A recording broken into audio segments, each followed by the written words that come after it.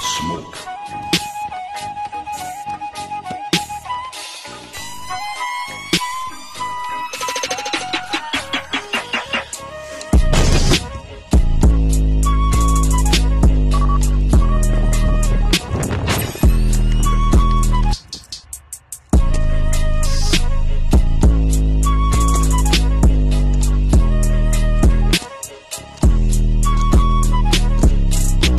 I got money to bill ya. Shorty stacking like a mule type of shit that'll scare ya. Headboard bang, bump the side of your head. Watch how your ass spread, spilling off the side of the bed now. Hmm. Now what you do to the dread, baby? Your ass really changed what he initially said because nigga dead, but fuck him. Cause now we vibing